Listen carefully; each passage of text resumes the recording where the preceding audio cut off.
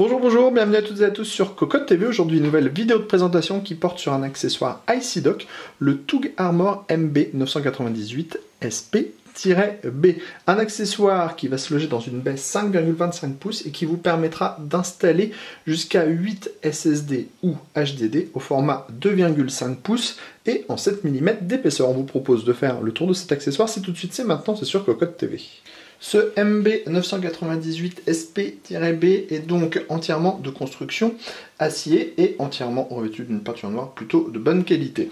Nous avons à l'avant 8 tiroirs qui sont hot swap, qui permettront de faire donc du hot plug SATA. Ils sortirent très facilement, on appuie sur la languette, on tire le tiroir et on le remet en place de la même façon. Comme ceci. À l'avant, on a des petites diodes vertes qui vous indiqueront la présence ou non d'un SSD.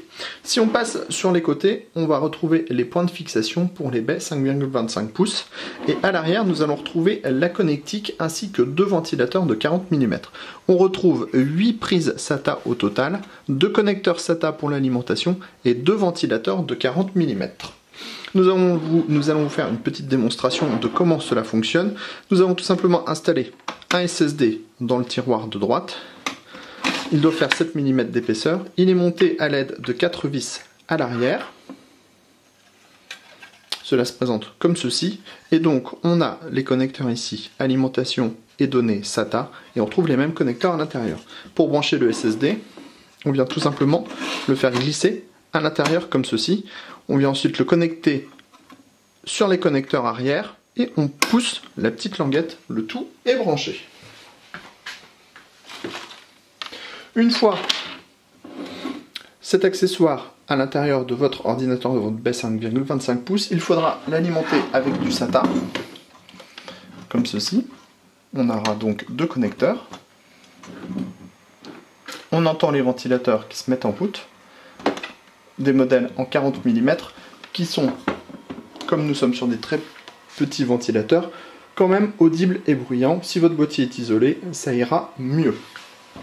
Ensuite, vous n'aurez plus qu'à brancher en fait vos connecteurs SATA à vos connecteurs SATA de l'ordinateur pour profiter de la même vitesse de transfert avec votre SSD puisque comme nous sommes directement sur du SATA à SATA, il n'y aura aucune perte.